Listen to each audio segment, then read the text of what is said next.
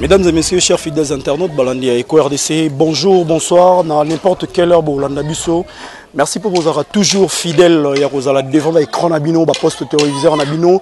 kolanda ba émission na bino ki toko o nyoso teleka na Eco RDC et puis sans oublier na ba technicien na biso o bazara toujours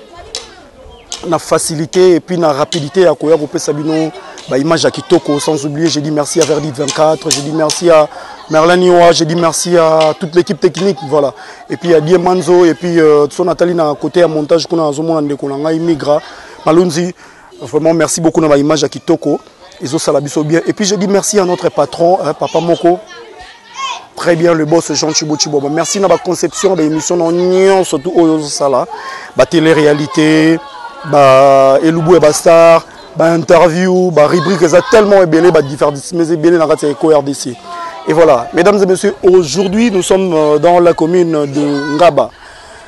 Euh, soki na se trompe nayebi te quartier eza libulu manzengele comme babenga yango libulu manzengele toye visite moko eza émission spéciale euh,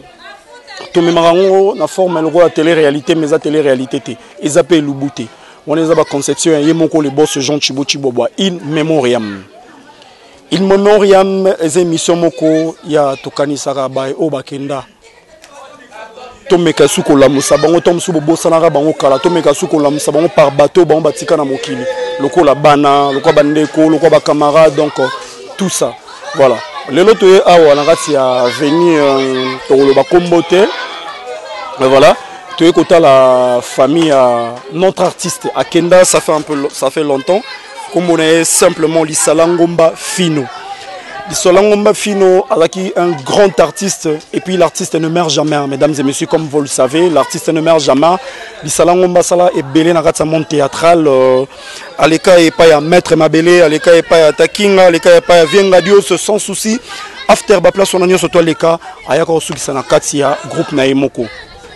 lere asisi na coupe na ye moko nde ya évolue nzambe ayo osala ye apesi ye nzela oyo biso nyonso tu toluka tokenda un jour toluka yango gute me koya na facilité à trouver sa révérence mesdames et messieurs lelo toza awa toza 0 mètre na parcelle play pai wapi tokutana na madame na ye Bon, la madame na ye atikala ye moko donc euh, na ba orphelin na ye na ba orpheline on sait pas tokuta na bango nyonso lelo madame euh, Fifi da Silva aza déjà au rendez-vous avec Eco RDC euh, les boss Jean Chibo Chibobo et moi votre présentateur Bob Molema le suprême lelo toyosa tour na kati ya quartier oyo totala ye topase na ye journée lelo babetela biso masolo ndenge nini papa na biso artiste na biso a évolua bayebisa biso mwa basouvenir ndenge ka ezalaka epuis na kati ya quartier bato bayebi ke na kati ya quartier mpe bayebi ye tosala mwa bainvestigation tomeka obeta lisolo na bandeko ya quartier na bato nyonso tout sans plus tarder avec verdit 24 avec ta permission tomeka mpe tokende kuna na kati là je dis merci beaucoup à mon évangéliste hein, privé mon évangéliste privé euh, Jean-Louis Merita na kati à Londres merci beaucoup merci à toi mon ami de tous les temps toi tu me laisses pas Hélène Salem ezala eyindi ezala eza bien tu me laisse pas Hélène Salem na kati ya bakin toujours avec moi Canal Plus toujours au top niveau euh, Verdi 24 topusa mwa malembe malembe totambolaka Masolo lelo ezaka in memoriam in memoriam mpo na ça plaisir na bino nyonso to bolingaka ba émission na biso eko RDC esalaka bino bien là je dis merci à toute l'équipe technique tozanga kobandela bango te bonjour bana calme eza ah na bana na ba yaya na tosolo na ba yaya moke excusez ah, nini yango ezokanga mama moke awa napusani yaya navanda na katikati na bino hmm. tokokota boye te sans que tomoni bajeune bavandi banini tobeta mwa lisolo bimi kaka ya ya boni bien kombo robert hein? robert bukuma robert ondie nayebi yo amono quelque part bangai fana monana ah, natambola fa robert mekana oyebisa biso oyebaka papa lisala ngomba bon papa lisala ngomba kaka na bakombo kaka na kombo me ye motu boye devi na namona ye te kombo tv kaka batv kombo kaka komona ye devi boye rien oyo émission na biso moko eza émission spéciale toya kotala bato oyo bakenda oyo batika na mokili toya kotala bango euh, nayebi te so lokola oyebi mpenza vie na ye kati menge te mwa un mot kaka na baartiste congolais yo mpo oza artiste bon nga mpe naza artiste oza nani naza musicien nabetaka guitare nayembaka etu obika une mémoire ako se souvenir na bato bakenda ezalaka très bien oui c'est très bien un mot bon tokosenga kaka na nzambe abatela mwa milimo yango soki un jour akozonga ndenge toyokaka azonga azwa bango mpe tozala na bango esika moko na enlèvement donc c'est un peu ça mon frère bonjour bonjour ton nom moi bon miel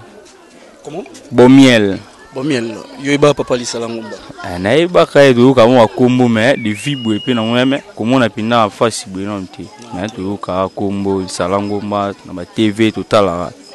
Hmm. Mo liloba mo muke ne pona ndenga kenda. Ndeko ya tika na bano ya tika. Ah bon, que son âme repose en paix. aa posaka ye non ya teke noki ya moto akufi boye bobosani famille boye boye na bafleur bobosani famille donc na osiplaka tellement ndenge akei babaartiste mpe nde baza na baida te ata famille bana donc esalaka mpe bien quoi yango wana kozala nango ah, eloko azala nango eloko merci bandeko natiki bino l'artiste natiki bino merci on continue mesdames et messieurs nous continuons notre chemin tokota na kati ah ouais biso tokotaka te sans que tobeta voilà yo nde ofungoli biso hein? ok mais ya fongoli ni biso déjà merci tobandi okota marembe marembe tobandi okota porte ya bonjour ça va ah boni kimia kimia ezali ezali ah. bandeko balandi bomoni elongi ya nani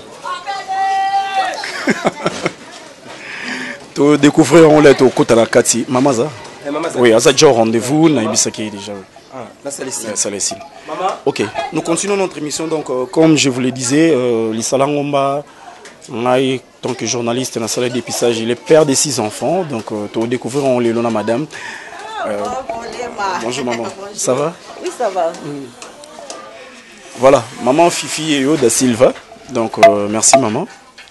oyambi biso hein? oui, mais okay. déjà kota merci beaucoup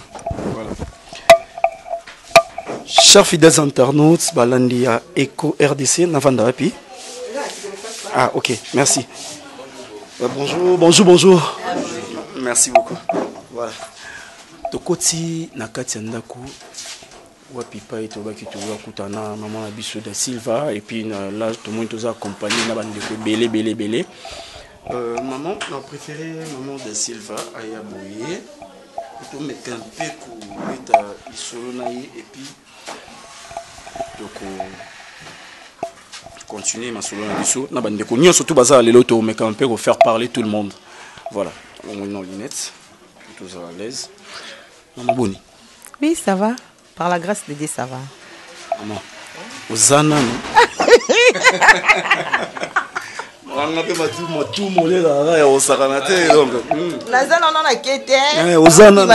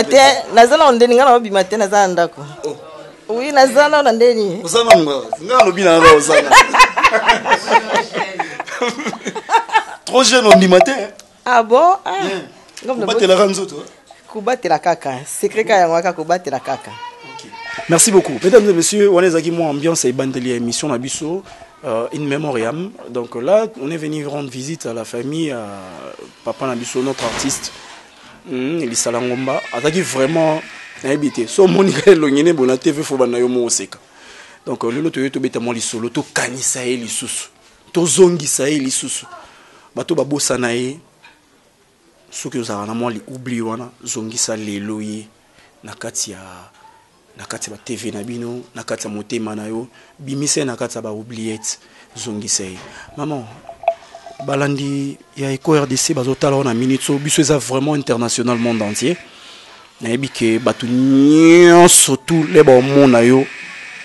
soki telefone na yo eleli te seke eko rdc te pesa biso na nkombo na mobima mama hmm, nkombo mm, vrai nom na ngai eza fifi mbingu da silva yango ya vrai nom na ngai fifi mbingu da silva mm. obutami na famille nini Nabotami epa papa Mombula na mama Mbingu Diakiese nde bisika nabotami naza cinquième de la famille. Ouais. Toza 11 nga aza cinquième de la famille. Bon, totikala 10 moko akenda totikala sikoyo 10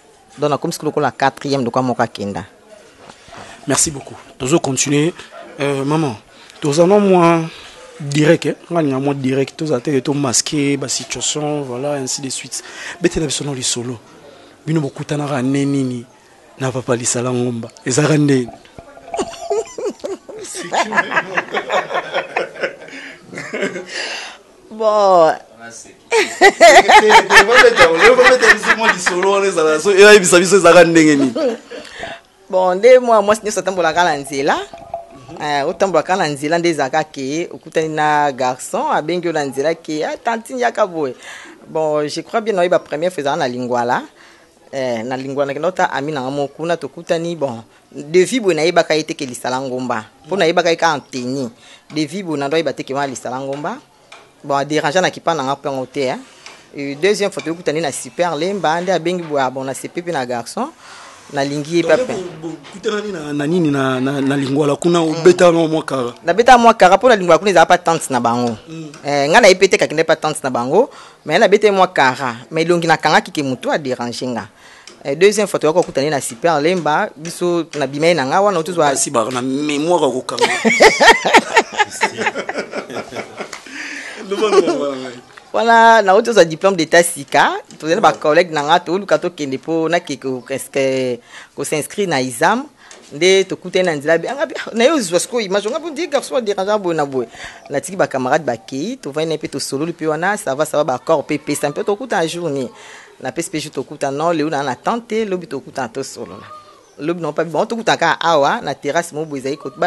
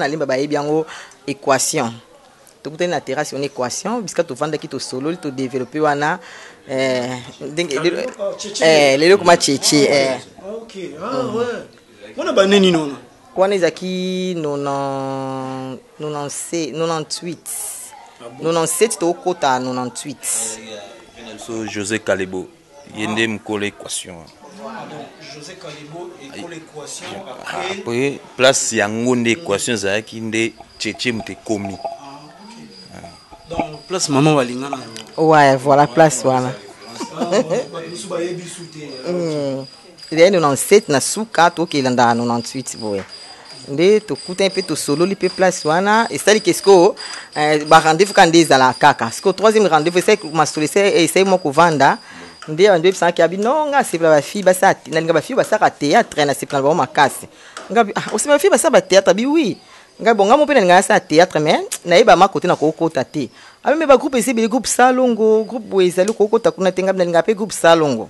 baseko ali pati mpe azorenye ngai bon mais nayeba te na kokota ndenge nini abi ngai na ede okota na groupe moko ya théâtre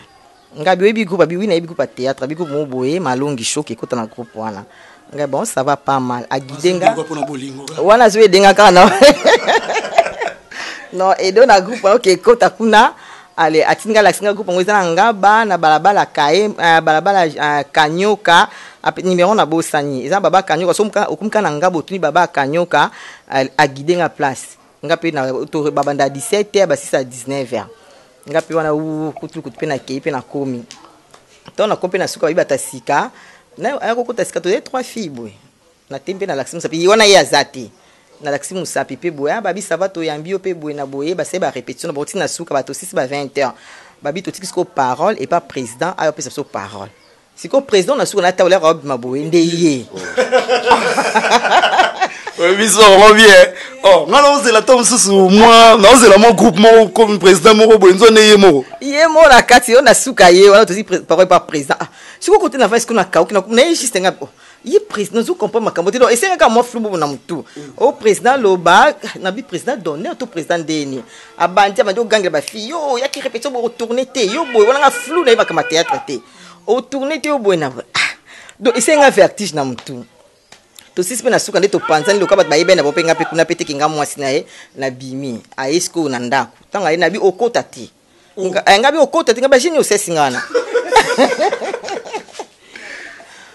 oh, baje nini ngabi te okota te yo président na ndeni na kati ya groupe wana o te na koexplike après ngabi okoexplike ngai loto na koexplike après makambo nyonso malembe malembe lokola naboyaki akota akei deuxième se abinanga so namoni na répétition te seki toboyani siko lokola nalingaki ye mpe kaka na bibo onaki kaka répétition mpo toya oboya na pamba nayoki repetition nde na suka nango sikoyosolola ye na oye deja bon aza bo garçon ah, nde mwana nalobi azali bo garçon nde na suka nango aye sikoyo kozwa courage ya présente bagarçon bazalaki wana nakutaka bachef mwa bazizi boye bazizi kumbimi badalos nde nakuta bao bazala bachef abi euh, na présente moto ya sika natindeli bino place wana nasi bachef bayebi nasi na kodai bango wana aza mwasi na ngai donc mutu akoki komeka kotouche te place wana wana aza mwasi na ngai nde tosisi mpe na suka tovandi nde abandi koyebisa ke non ngai aza artiste nabombaki nalingaki olinga nao mutu ke mm. olinga artiste najuaka epa sans souci na lisala ngomba ah sikoto natinga bilisa ngomba nata balambada wana ngai ah, ya solo nga bia mama biso aloba nabi epa biso oza bafanatike ebele ngabi pa biso baolinga te baoloba ngabi lota bapantalo bo ngabi o oh, te wana eza style nanga théâtre ah donc na biso kono na biso bacamarade na wana ondeni na bandi oseka place wana Ndabi voilà un peu nalingaki tozala mosala moko mpo soki oza na art nde ngai naza awa donc ezala bien makasi comprehension si comprehension abi omonaki ata nake tournage oyeba batournage ezala nde nini omona esala opasi te ata omoni natemi na fille ata natemi na bana basi ebele bando osala opasi te oyeba mosala théâtre ezala nini puiske nalingi yo na baaventure te nalingi yo na bala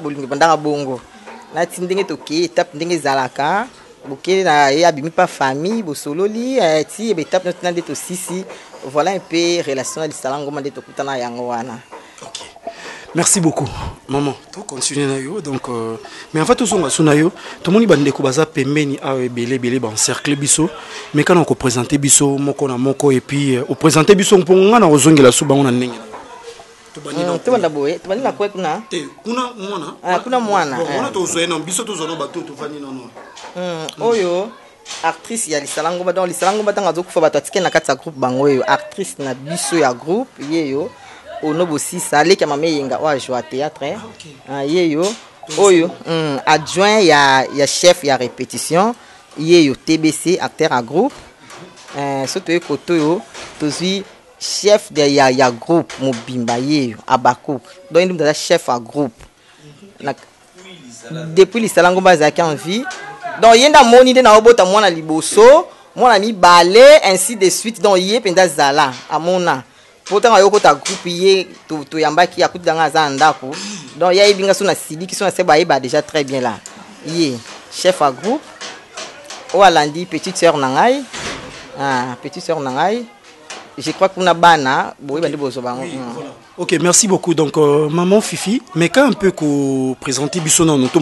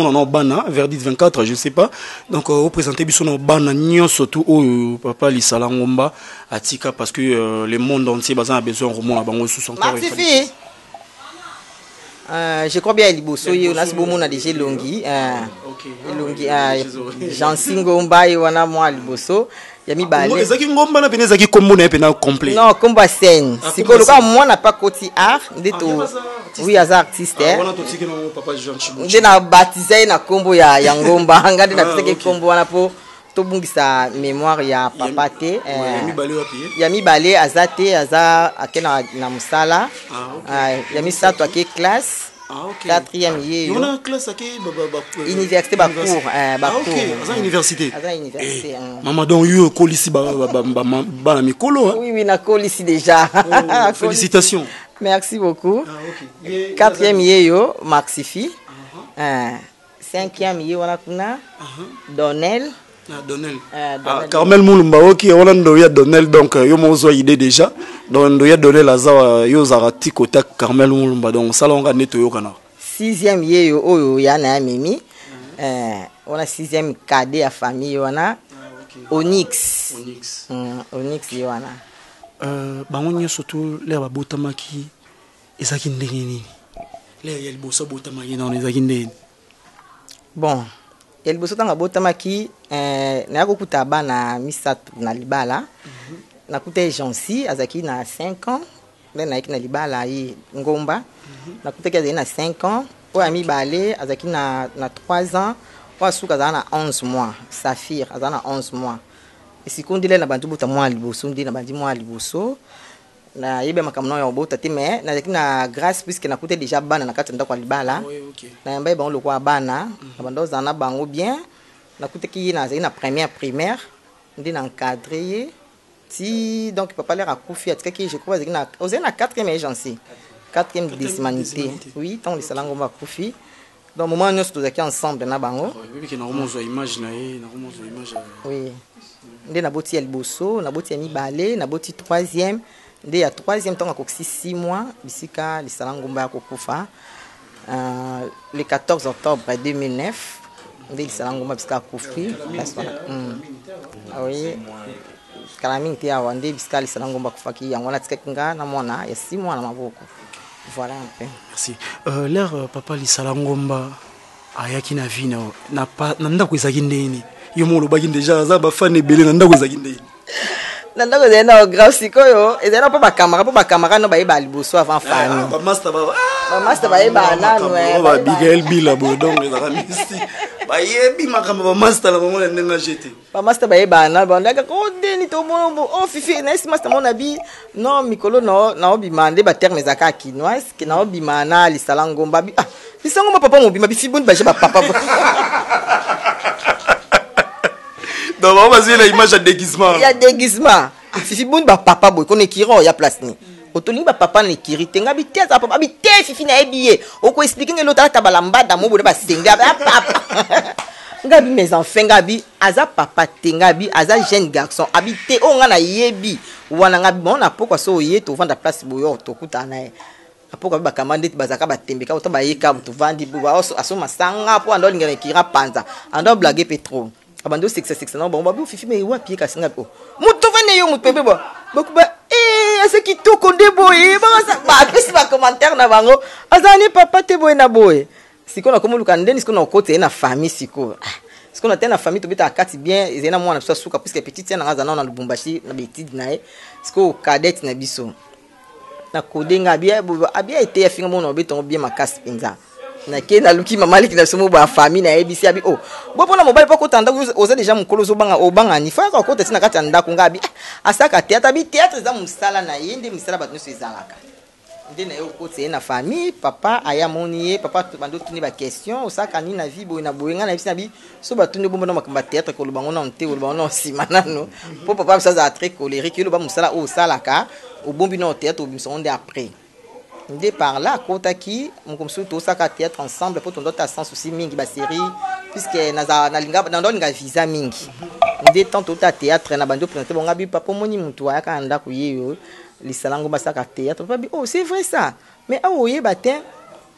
donc nde par là nakotisaki nano mesana nango facilement bamesana nango facilement parce que na memela bango na ligue nano teka asaka théâtre nabombaki nano bamona nao personne to bamona motu bayebi ke asala mosala boye nde nabi mosala mibale eza sikoyo théâtre nde par là famille mobimba balingaki bakonka ah, mwasalisa ngomba mwasalisala ngomba nde komela bacamarade na famille bamosusu baondo bengo lisala bamosusu boye nde famille en tout cas azalaki ma aimé mpo azalaki ma très comique nde soki aye ba conseil na ye na ba comedien ndo asala en tout cas akotaki facilement vraiment na ndako okay. merci beaucoup maman fifi da silva tozongela osima toyino awa na ngambo epai ya chef ya groupe chef bonjour bonjour kamera kani bino siko biso bato kimia kamera te biso bato tala euh, problème ya te mm. problème ya te chef opesi na nkombo parce que mama présentaki yo déjà euh, bato bayebi yo Ba meka lisusu ko yeba yo encore une fois de plus. Euh, mon nom propre ezali Eli Nzika. Nom ya scène eza Abakouk. Abakouk ezalaki baptisé par ye moko Lisala Ngomba. Nde abatiza ngai na kombo wana Abakouk. Si aujourd'hui naza Abakouk c'est Lisala Ngomba. Oui. Monsieur Abakouk sur scène. Solelo obebeta mwa lisolo mwa moke po tozwa pena temps ebele te. sur euh, le défunt euh, Lisala Ngomba. Mais quand on bête la solution, le mouké mon petit souvenir, on a bien, bien, bien au Yozanango. Parce que je sais que ça fait mal, Kokabwana, mais to betango ka eza nango déjà lisolo nzamba sasala kike ileke ileki. Euh, monde na temboe. Sikoyo nakomi yo luka na compresse ye eh, na compresse mpo na satisfaire tout le monde na monde nde baolanda biso mpo na koloba lisala ngomba ce n'est pas que soki moto akufi nde balakisaka bolamu na ye non mais ngai na otémoigne que c'est un bon type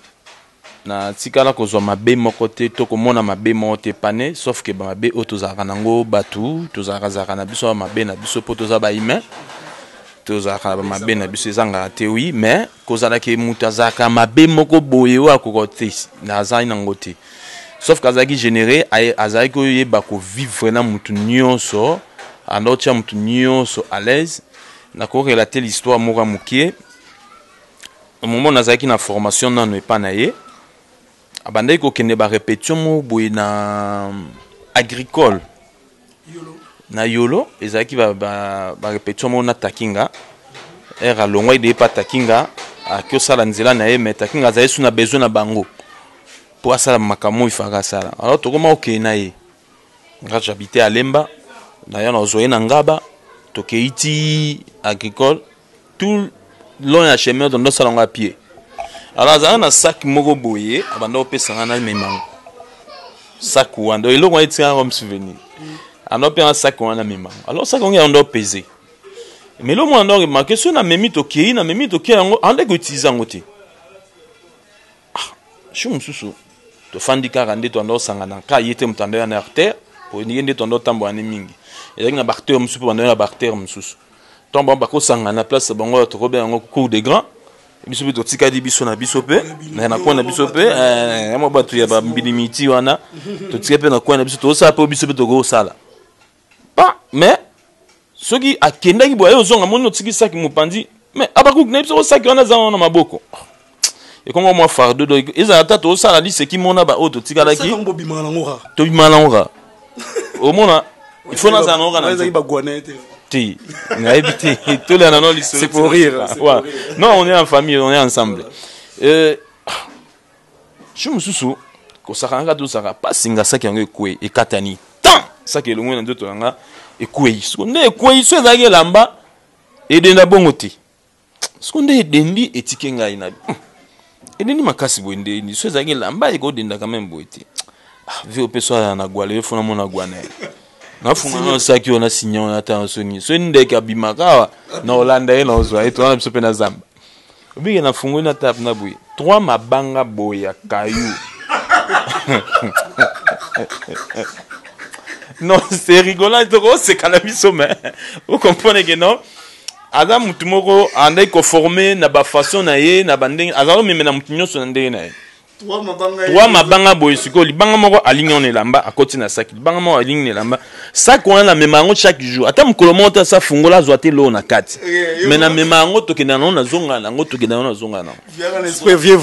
voilà sikoyo ntango azongi place bakendaki répétition wana bakendaki mpo banda osala répétition mwa coulisse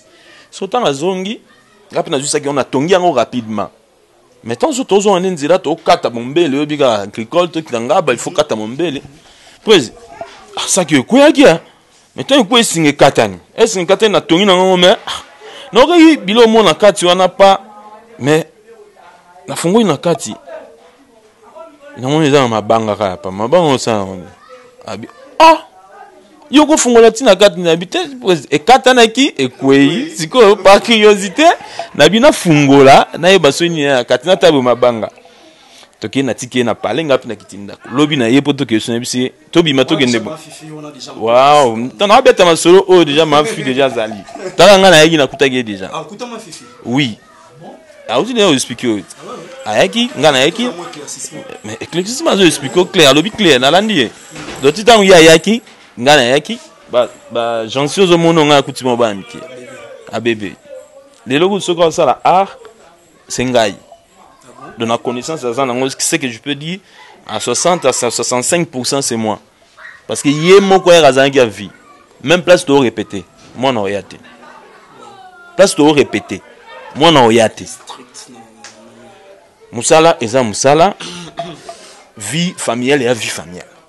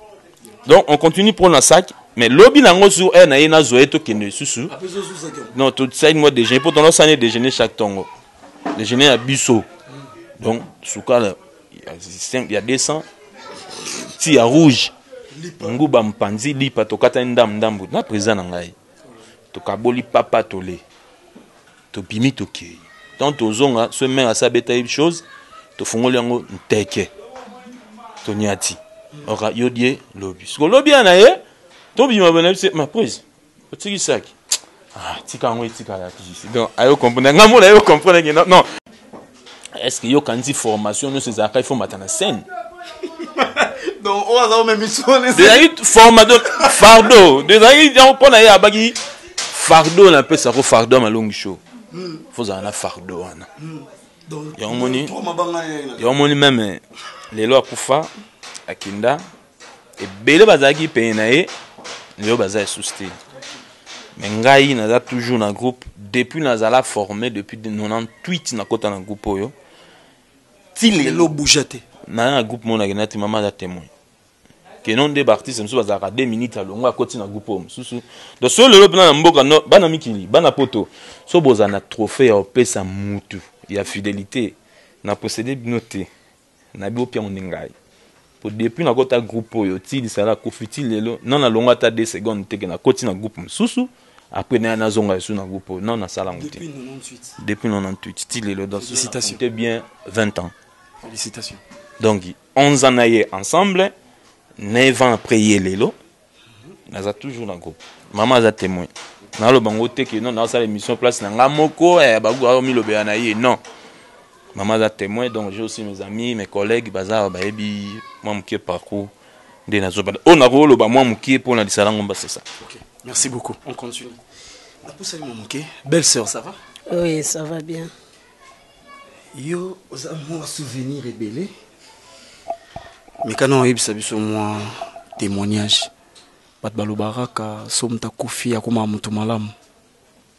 so moto aza sute nde akomi moto malamu yo koyebisa nini biso nini mpo na beau frère na ah oui nakoloba nga eza naza petite sœur oyo nalandi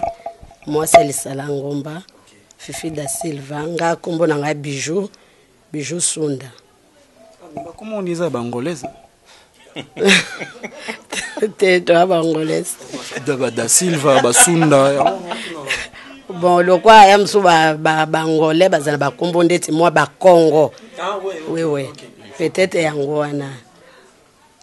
ngai tozalaki nao avant aya kolinge toyebaka mpe te nde ka mokili ekenda twanda ota bateatre twanda ota bateatre ya sans souci makasi soki aire na yango ekoki efo biso na ye mpo tozalaka se kole vraiment toyaka kose separe ntango ngai nake lubumbashi nake tanga yango natikaka mwa vide souvent twanda opase nde bata mingi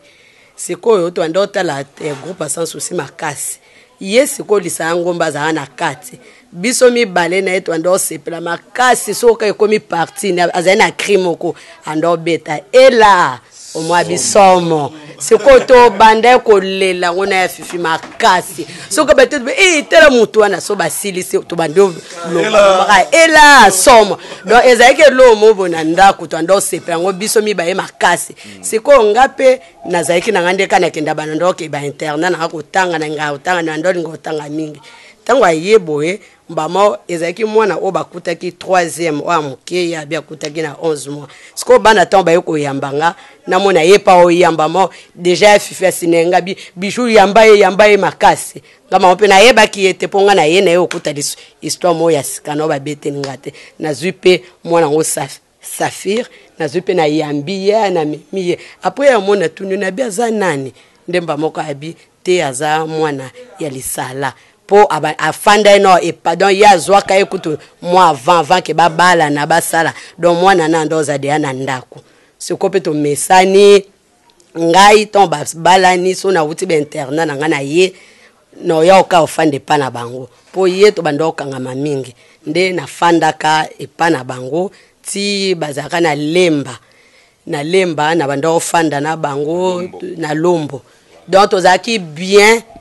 donc nazwa problème moko na ye te semeka afandi wana me mwa bofandi bota télévision toseka na biso eza te simple kutu so batye ndeti banini batéâtre ba oyo ezalaka ke o semeki alingi semeki ne ya, ya, ya mwasi waye kofaa na ndako ne biso mbaye na tobi ngai so moto asali bomwa ya fiabi nga so moto amekosa abongo akozala na nzete na lipeka omwa na ye na nga omwa tozoseka biso nyonso tofandi na kati ya salon tozoseka soka tomoni bongo yafya bikutu nayebi deya wana libala esila akozala na nzete bato baomonaka nde lipeka ekokita nde bato bakomprenayei na kometi lelo pasa ata na ndako asala to bana kutu bakoka to mwa babi mama vraimen makambo ozala nango donc tomesana ebongo tandor fayane bien tosolola donc natikala kozwa problème te so mpe congé na nga esili nazongi so lisusu temps mosusu naye na ndako na bango na ofanda na nga bien donc à l'aise omakuba o oh, lia so olie te omona na omono nde toza ya odimine baokanisa ndeti oye oliaki bien te so mpe ndeni fo olianga bi bapeti eza to moabe te lia kaka akomi ndeti grand frère parce que ndenga tozalaki pire ezala souvent bongo so na bato baza bien so okuti mwasi baa pire na motu moko boye yo mpe olandaka rythme donc tozali bien soki alobi likambo omoi toseki jour moko tobeteli mpe lisolo ya ela somo wana ye kuta aseki abi bino boya mayele te boya bazoba vraimen biso tobi tobanda kolelo toyebaa te or ezalaki attirance deja elakisa vie toza ensemble donc tozalaka na ye très bien mais sala nga pasi ntango nake lubumbashi nake okontinue médecine na nga mpo nabandela yango mpe awa mais akende okontinue oyo na lubumbashi nde nazalaki epa na bango ti ntango tokosala valise na bango ensemble na ntongo wana mpe naokezwa vol na ngai ya soki ezali so ya 9 heures Bango moto ba accompagnaki ngai ti bus eye, batikali nakei tozalaki très bien, nazali na souci nde natika ye bango mais nde nakendaki kuna nakutani naye na mwa ba problème, oyebi kaka vie estudiantine papa mwa ba problème na, na, na universite eyosala ke nazwaki temps ya kozonga te mpo naya lisusu tofanda nde na mesana ofanda epai ya bango naye koyoka akufi.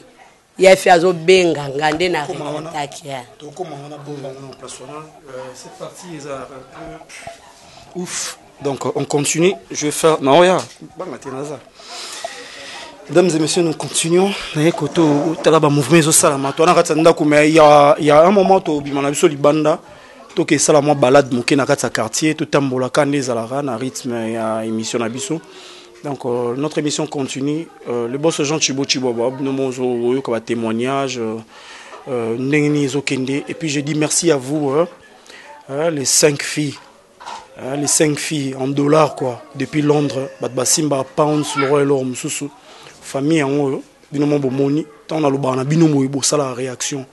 donc réaction ezala rapide lokola na kati ya terminal distributeur automatique kaka nde ezalaka maman ça va ça va bien kimi eza ezali o ndeko na ngai mongala ya ngombe ya ngombe ya mboza oza weni odi bopele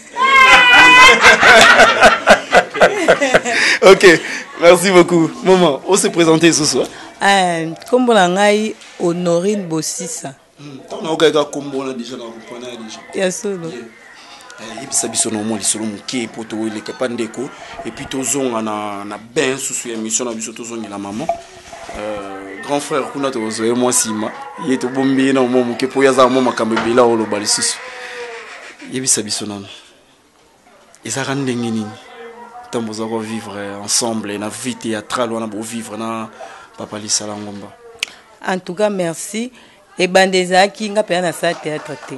papa lisala azwa nga na kati ya ndako ayokutana ah eh, na osala mosala ata mosusu nasuka basani nga petit sala mame yenga oyo asala teatre pa sans souci ayebisi nga boye abi ono oh yo fosala teatre kabi président kabi nasekaseka abi te na koencadre yo omoni na famille soki boza mibale ya kotombwama esala abe na famille yo fosala teatre ngai président pardon nakokoka te nakokoka te président abe ah, okokoka kaka Mokolo mosusu aye abi ono si sosala mosala olanda nga e président nga nakokoka na nga te abe okoka nazobanga mpo nazali mpe soni soni sikoyo natuni ye rep yango basalaka wapi apesi nga adresse nga biso na sisi na oya nakei mpe koseka na koseka na okoka te so bayebisi nga mata na tatami koseka ngo nazogangela botika ye botika ye kaka Kaka bongo ti mokolo mosusu na lobi nzambe lelo mpe na seka te vrema president asepela na seka te nabongami mpe na ke repetition nasekaki mpe te abeteli nga maboko sikoyo nayaki na chance moko tournage international ntango naye boye ye moko kutu bandaki kobanga kopesa nga place wana apesi repetition esili tokei mpe na joue mpe kitoko nayebai mpe te namonaka jour mosusu ayekuta nga suna osala mosala abi na nga félicitation eh. amemeli nga biscuit amemeli nga biscuit abi félicitation obikeli tobanda obangelo makasi ojue kitoko eh. erreur osali kaka otala ye kamera mpo kotala kamera ebangisaka eh. nabanga su te nakoma yango nakoma nango kaka mai eh. abi otala kaka kamera me mbasi makosala su botenga biprezan ayoki en tout cas eza mpasi nazwaki mpenza ebele ye mpenza banda kenda donc ti lelo nazala kaka wana mpe esuki kaka tabi il faut koma place osambela place ngai nasambela ti amemi ngai na eglise place abandaki kosambela atika ngai mpe kaka wana Eh, ti lelo pe naza ka wana na groupe pe naza awa nakotaki na groupe oyo depuis 2003 bato balobaka mpo na ngai verdit 24 aza master exemple mpo na ngai verdit aza master verdit aza frère na nga verdit aza euh, everyday tozalaka na verdit anytime tosolola makambo na biso ya kati yo sikoyo mpo na ngai ezalaki nani mpo na ngai na, na groupe na biso ya art aza président mpo na église pasteur po ayebaki bible ya je te azalaki pe pasteur ah bon? oui oh. pasteur eh. les colombiens et pas pasteur placide moulaba pasteur eh. pasteur ti akufi wana akei nzambe abengi akei pasteur pasteur Azalaki pasteur tika ete motema molimo ne pema na kimia place azali consacre pasteur eza eza eloko mo boye toyoka ngo nano te nayebi te verdit 24 eloko ye eloko oyo eza oui ebimi mpena boye ebimi boye bato fo baza kidiba ah bon pasteur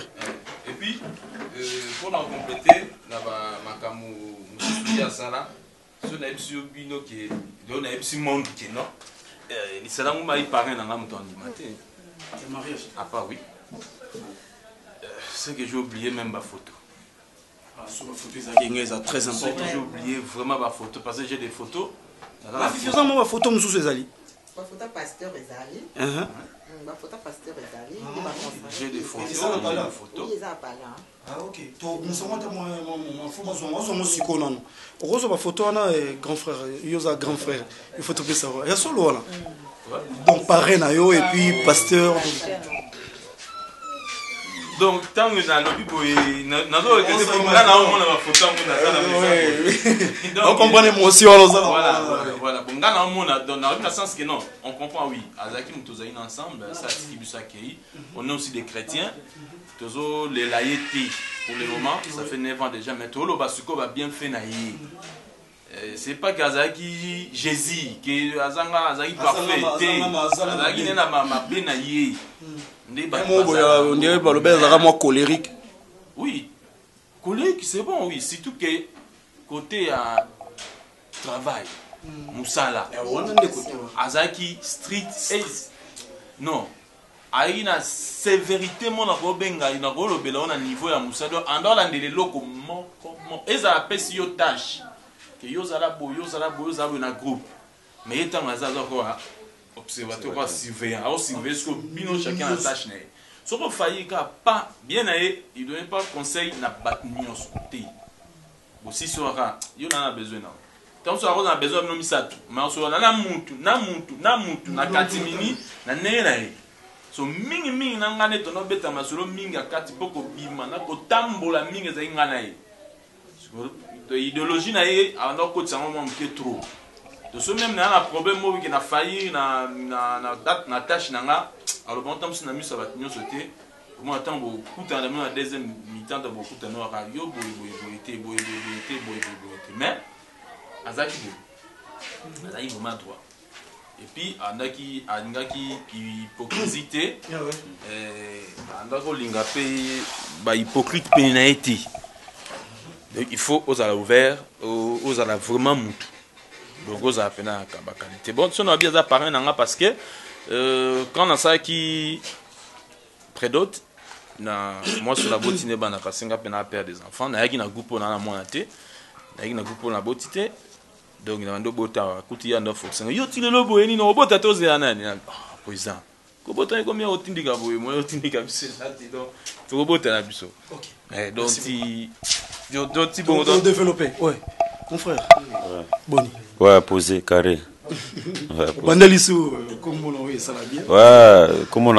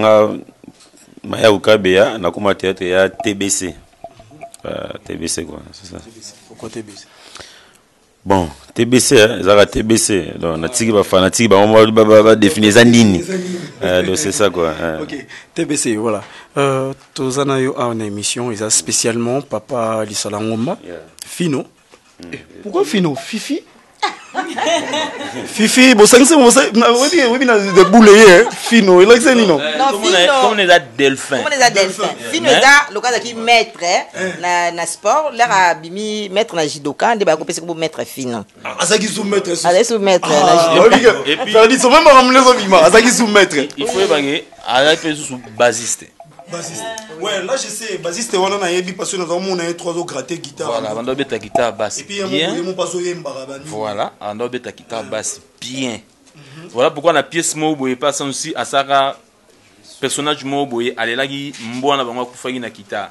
malgré abetaki kita yango ezalaka solo mais so moto so ba image yango ezali soki ezali so moto aloki bien omona etizaka 4 fil ya likolo parce que eh, nga mpe naza mwa makila wana mekana obetela biso lisolo papa yo mpe basouvenir eyali Bon, euh, ça dit que ba souvenir ya vie ezali po ta tobanda ya mosala tokuta da ba vie ke baada ya na masolongo ka etaki artiste professionnel quoi euh, nga vie namona ye bon na tv namona ye mbala ebele komona ye bon namona ye deux fois nayebaka bon ko c'est-à-dire que kokutana mpena na occasion moko kaka boye c'est-à-dire nayebaka ntango nandosala théâtre epa willi mambu euh, napesi ye mbote place azali euh, aza na londres ah, vient na londres quoi ça dit que nayaka chef ya répétition kuna ça dit tana opesa répétition donc nazopesa mpena répétition donc natoki donc nazobimisa mpena noke makasi nyonso or ke na nsima vie ayaki na nsima ayaki kotala répétition nyonso mpo bazalaki pire na willi mambo ngai mpe koyebi nayebi te donc naopesa bosima naopesa nabalukaka boye kaka moto omonaki na tv professionnel na oyebi ke motema ebetanga ya danger oh. mais nano pesaka bipesapesa mm. atindi petini mwana otambola na abenganga abino ke za le za calme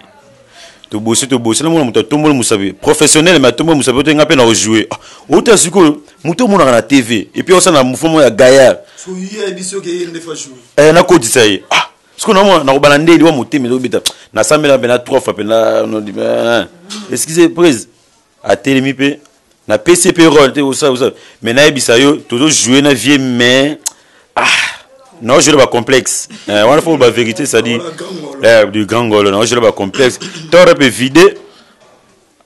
ake bakutana na wili ntango akokende na landi na ah, ma prise sikoyo mpo nakoma lokola nasala nini abi nazalaka discipline cestadire kotosa bato oyo okutisi bango na mosala do yango na ti lelo eloko wana ti lelo nazala nango epuis tata okende na ye nabi ah, vena luka photographe seka mpe bandroide eza te mwa photo souvenir luka photographe don luka abisi nga mbala nsima tokokanga biso ya problème te tokomonana biso kaka bon na mbala nsima epuis tobunga ye après nde toyokaka wana bon ah donc pasi kaka donc eh, pasi fort donc eh, mystique dernièrement awa ah, na chaîne moko boye naotala pièce moko pièce kaka kala namoni pièce vie pas joie donc vie anojoue bacomédie moko boye donc eh, ya synthétique kozwa ye kozwa bavie lokuli moko bacomédie wana oh azo forcer te oyo nde tozomona biso baje tozobima bimale ozo forcer donc donc biso ojoue na vie donc pepele donc pepele ya danger okay. Ouais. Merci beaucoup. Tozongeli ma Fifi da Silva. Maman Fifi, olobi olakisa biso ba photo oyo ba consacraka ye pasteur hein? Oui. Oui, tout le monde on a tourné en tourné en maman pour battre peu mon en pour et biso linga mon préva la pluie. TV za radio TV za radio. Ah OK, voilà. Oui. Oh, wana ye moko wana mais oyebi ke so ozwi ye oyebi donc ya déguisement eza mystique beau garçon oh. mhm, wapi mosusu Ba pasteur pena donc. Ba pasteur. Oh. Il a été consacré donc aza. Donc yo zaki ma pasteur.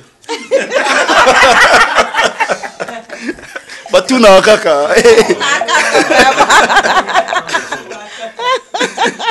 Vraiment. Mais batuna ko faut tuna. Eh. Ah pe yango là. Hein. Ah ye, ah, je pense jour à fête yango. Oui, oyo mpe aza artiste na biso plaisir mm -hmm.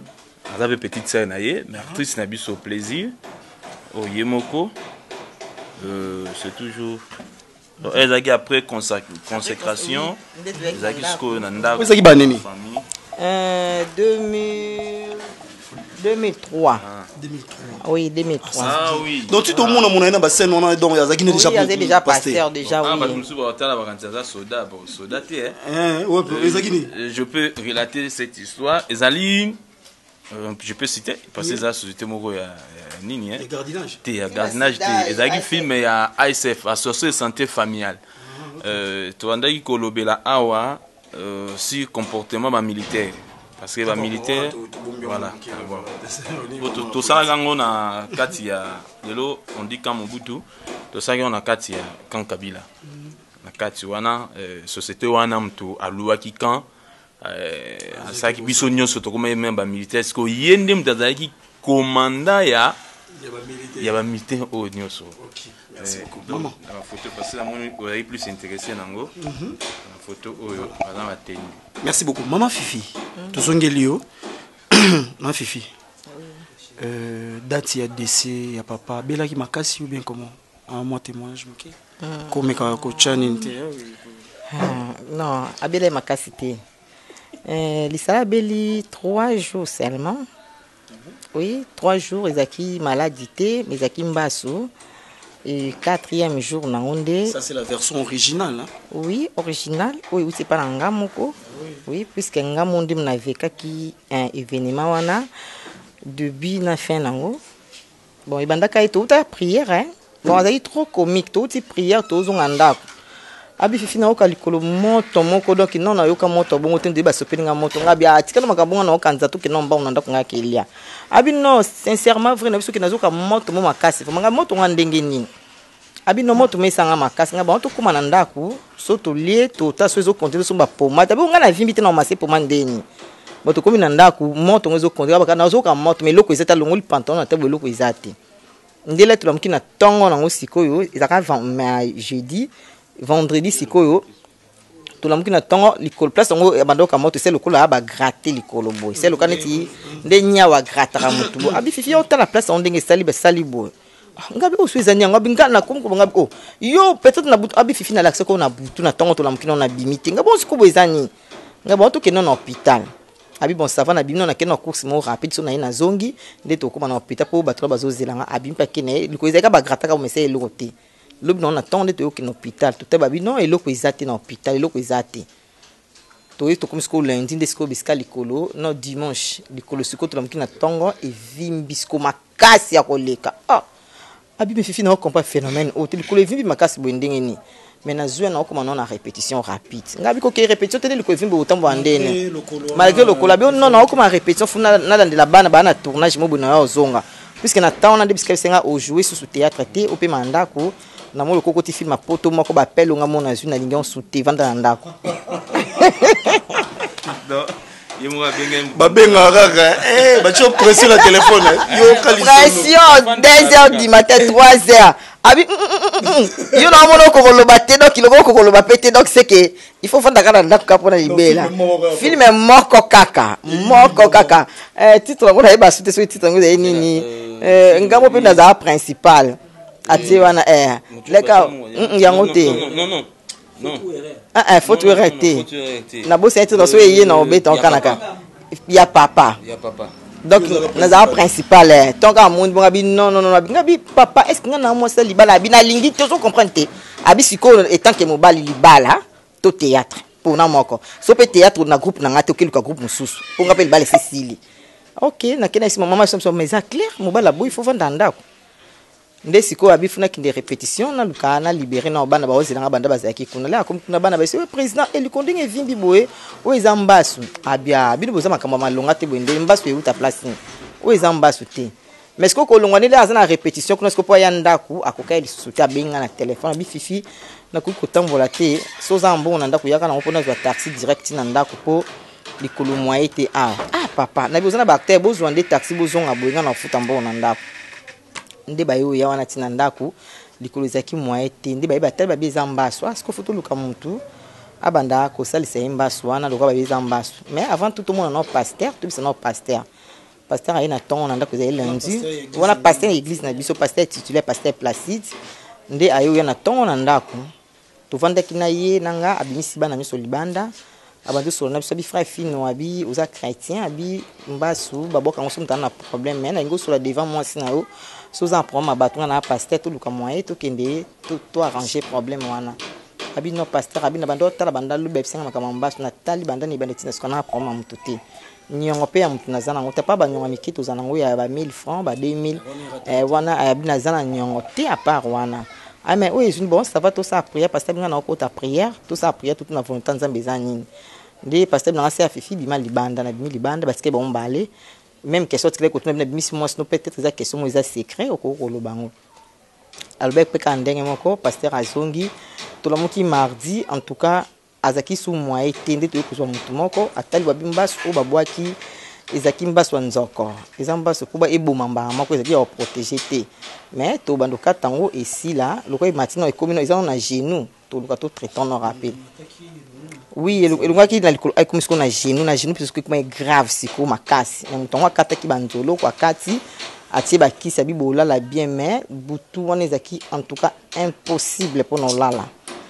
Donc tolala te butu mobimba lela lokola mwana mokie atel point kabi en tout cas namoni soki nayebi moto na funa azongisa nga papa oloba bongo te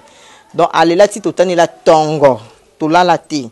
tongo siko ya mercredi toola non pongi eyibaki eyibi nga ye alali te nga pongi eyibi nga ba, ba 4 heures du matin boye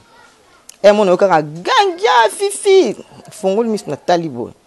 ngabi nini ah, abi olali nde ngabi nalali te me naye okompraki nanimbaki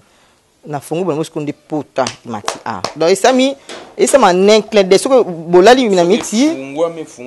likambo moko echange oh, ntango natali boye pota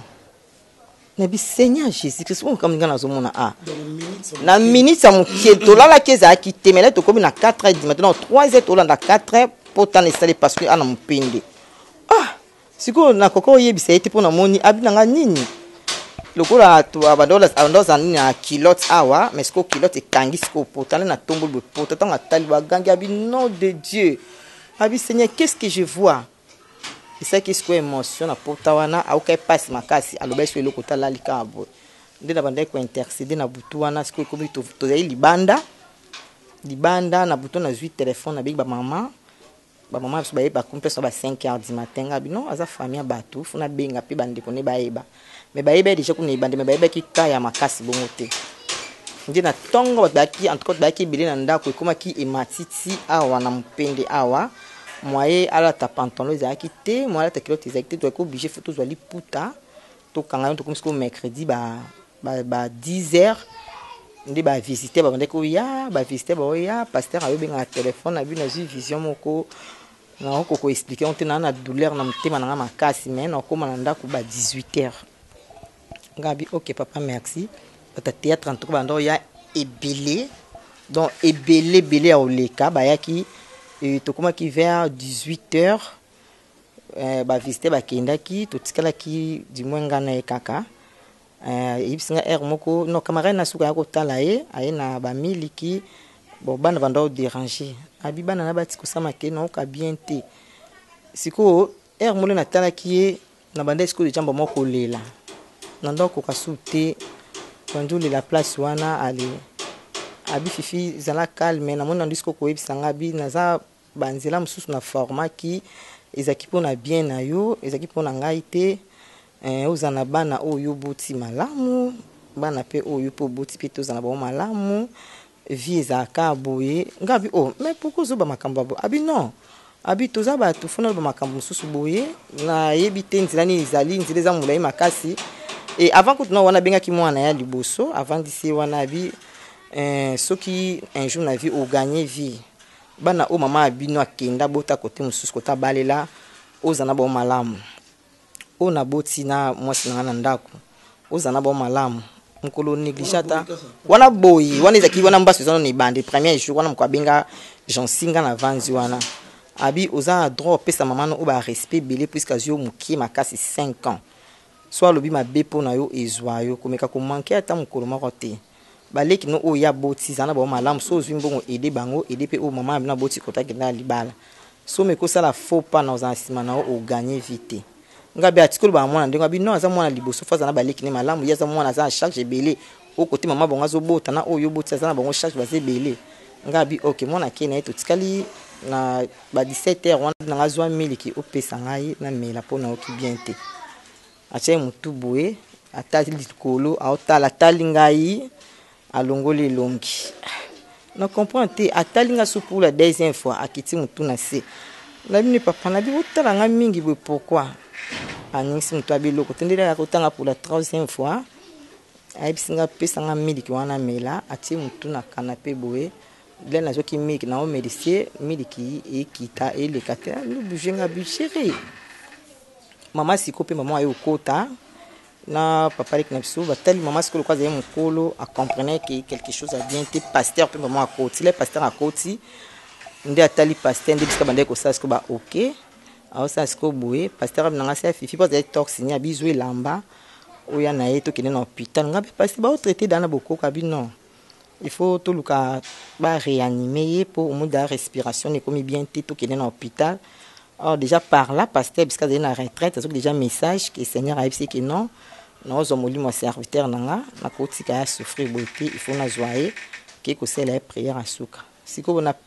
perdaki connaissance totalement na bila na koti lelo kota na ndako na bimai nzoka na balabala na oke makolo ngulu nzela prince nde pasteur abimai bolanda fifi aza na connaissance susu te nde na ye nazwi donc na banda ocomprendre eloo te ti bazwi ye tokoti na motuka na banda osala prière mo makasi na ye ko se rendre compte ke na olobaloba tant tokomi juste na super lemba nakutani embouteillage moko non namona yango te donc tous les quatre koto na nzela kianza matete biso oza na katikati ya embouteillage mpo frère na biso moto azali na motuka na volant abisko tosandi toyoke saint joseph abandi kokota banzela kati abandi kokota banzela kati azomema bifunakele banzela tokoti banzela kati tokomi na saint joseph donc tokoti boye baye na chaise roulante sone pa docteur bazwi ye batie na chaise roulante docteur ntango azwi ye kotala telengaka ya suka ntango totalani kaka arespire Hum dit docteur abi soki mwasi na aza wana bolongola ye pembeni puisque aza lisusu te asakati motema bon place wana discours lelaka docteur abi nazalaki sur place nakweyaki nakangami donc nayebaki soki te loni ezoleka na place wana ti bazwaki ye bake bakoti ye na morgue ngai nayo fongola miso ba 2 heures du matin no ba une heure bisika ba namoni ba ventilateur esala bazoperfuse ngai deja Nde na tali boye ba bebisi pe eloko pe te pasteur azalaki pembeni na yo prier sa fifi oyo ngo sala eza nini dejà ba sango ekendaki ekeyi ba pesi ba nini ça va ça va ça va ma fifi ça va